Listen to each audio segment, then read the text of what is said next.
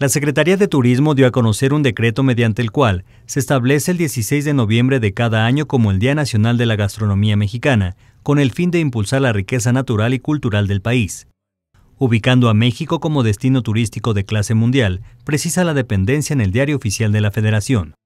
Las Secretarías de Cultura y de Turismo realizarán las acciones necesarias para implementar el decreto, el cual entrará en vigor a partir del 15 de octubre de 2016.